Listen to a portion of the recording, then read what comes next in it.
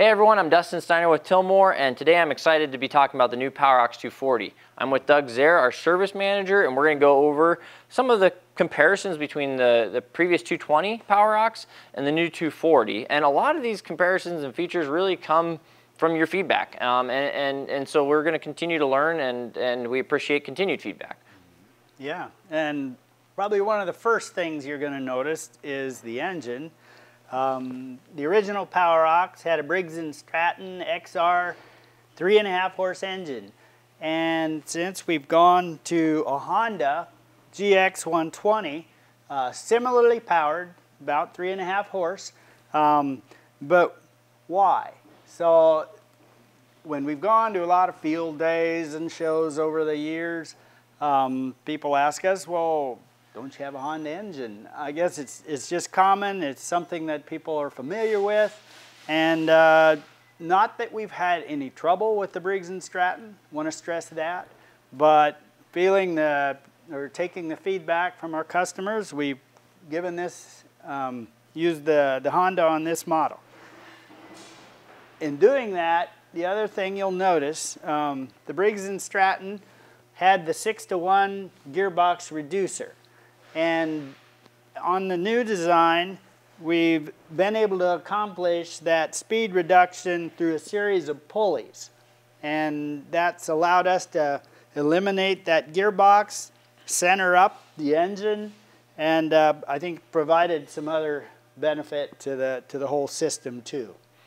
Yeah, it is, I mean, benefit of, there's less engines that have the 6 to 1 reducer yes. available on it. So uh, one benefit is future repowering or other options in the future that, mm -hmm. that, that gives. So, mm -hmm. and, yeah. And no need for maintenance then on a gearbox. Exactly. Um, another thing, uh, we've kind of put a lot of kind of time in the throttle, uh, not the throttle, but the handlebar area.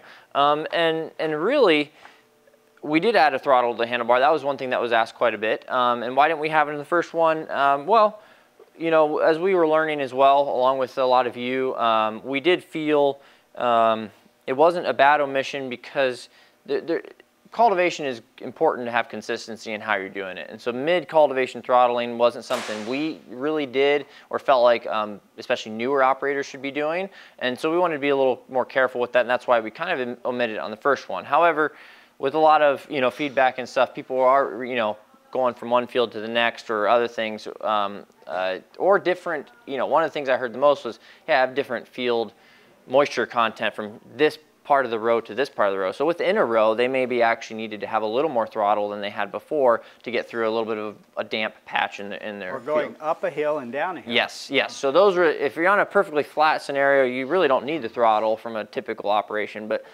not everyone's in that perfect scenario. So that's one thing we kind of changed in the handle area. Um, another thing is kind of the quick adjust and also the height range of adjust that's on it. Um, we, the other kind of had a, a, quick adjust system too, but it wasn't always quite as smooth and easy as, as we want it to be. And so on both sides, there's a knob here that you can turn and it easily comes down and then you can tighten it up into the proper position or that's too low, I'm gonna start kind of picking where I want it to fit. And then when I find where I want it, then I can come back here and tighten it up. And so um, it's a lot easier to adjust um, from the lowest to any, any space in, the, uh, space in the middle all the way up. So if, if I want to adjust it the whole way up, um, again, that's about it right there. But what I'm going to do is just show you here. I'm six feet tall.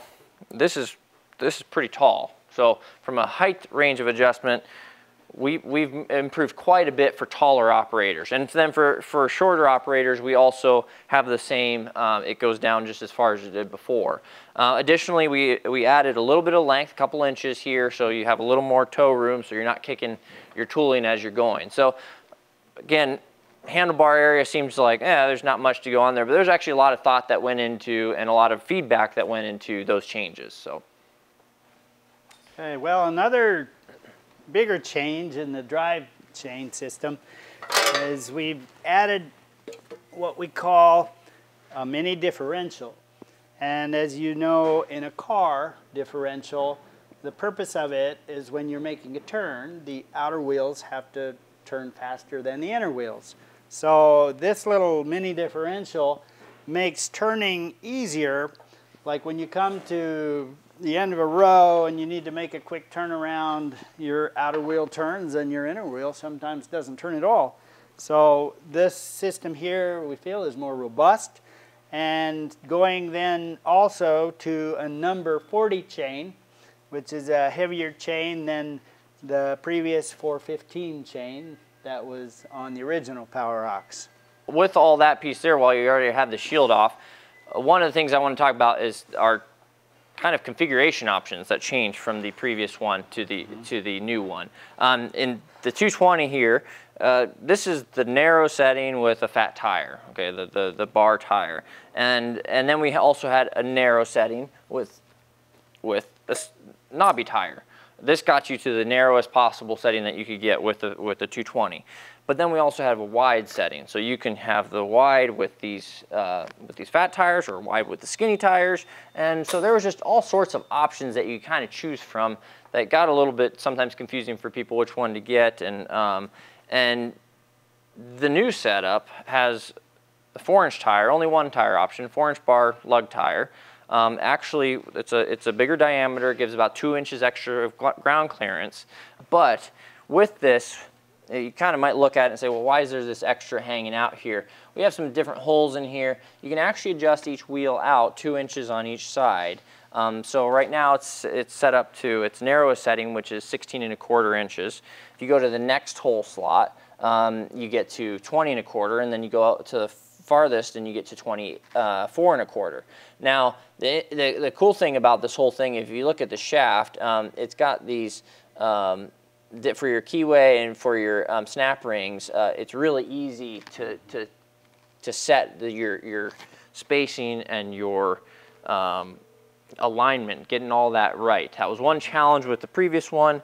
When you go and change your setups, how do you get make sure your alignment on your chain is right where it needs to be? And so that does a much better job of allowing for, if you, you can get it this way, you can change it later without having to buy different components, um, and you can get it dialed in right where it needs to be. Mm -hmm, yeah, and some of the original features that we did move over to the new design is the hitch point. We've kept that just directly behind the axle so that it has, it's very responsive when you try to turn or make a correction when you're driving.